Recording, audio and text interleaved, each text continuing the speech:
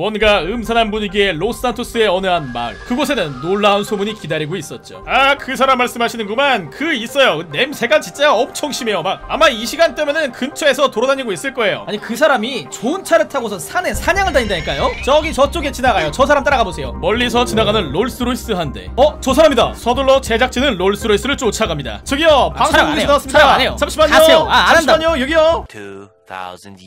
제작진의 긴 설득 끝에 마음을 연 주인공 트레버씨. 이게 롤스로이스예요 롤스로이스. 거의 집값인데 제가 조금 무리해서 샀죠 이게. 한번 둘러보세요. 여기 대한민국에 이런 차 구하는 것도 진짜 힘들 거예요. 한눈에 봐도 뭔가 이상한 롤스로이스의 내부. 가스버너에 휴지에 곰인형에. 저기 실례지만 여기서 사시는 건가요? 저에게 있어서는 차가 집이죠. 여기서 먹고 자고 생활할 수 있는 건 다 하고 있어요. 제가 차를 좋아하다 보니까 튜닝을 좀 많이 했어요. 이것도 보통 차가 아니에요. 그는 직접 튜닝을 해서 그 성능을 극한까지 끌어올렸다고 합니다. 이게 뭐 거의 슈퍼카보다 빠르다 고 보시면 될 거예요. 때마침 그곳을 지나는 람보르기니 한대 일단 빨리 타보세요. 아니 원래 차가 보이면은 이렇게 막 따라가나요? 제가 차를 좋아하는 사람으로서 아는데 저 차는 보통이 아니에요. 원래 크리그를 만나면 쓰려고 했지만 부스터를 써야겠어요.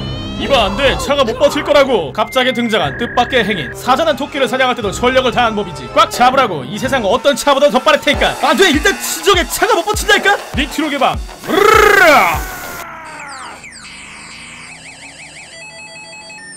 해 해치웠나? 아니에요. 앞을 보세요. 하찮은 필멸자 같으니라고. 저기 트레버씨 저 사람은 아는 사람인가요? 아. 어. 방송국 사람들한테 너무 많은 걸 보여주지 말라고. 트레버 씨의 기분이 별로 좋지 않은 것 같군요. 혹시 저희가 식사라도 대접해드리고 싶은데 괜찮으시다면은 아니요 아니요. 됐어요. 제가 해드릴게요. 일단은 제 차를 타고 따라오세요. 저기 앞에 고라니가 보이실 거예요. 와 도심 속에도 진짜 고라니가 있네요. 제가 직접 잡아드릴게요. 어? 갑자기 고라니가 폭발했습니다. 트레버 씨는 이 상황을 전혀 이해하지 못하고 있습니다. 어이 어이 어이 어이 어이 어이 어이 아직도 고라니 같은 거나 먹고 있더니만 취향 참 특이하구만. 만년 꼴찌인 트레버. 나 나는 이길 수 없어. 저 차는 무려 52마력이라고. 트레버 씨 포기하지 마세요. 도망가시면 안 된다고요, 트레버 씨. 여기서 도망치면은 당신이 지금껏 꿈꿔왔던 게 모든 게 무효가 된다고요.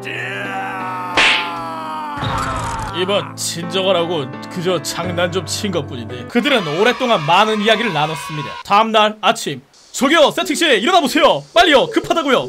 아 예 알겠습니다. 아이고 아이고. 내 차 키가 없어졌다고요. 어디 그 녀석이 제 걸 가지고 도망친 것 같아요. 자 일단은 경찰에 꼭 신고를 하시고요. 그렇다면 저희 제작진도 이만 돌아가 볼게요. 카푸아의 길을 택한 우리의 트레버씨. 그의 미래가 어찌 될지는 아무도 알 수가 없습니다. 자 그렇다면 세팅이었습니다